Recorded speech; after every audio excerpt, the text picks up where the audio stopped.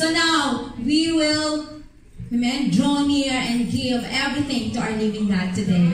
Amen. So let us have that desire that our worship will be united.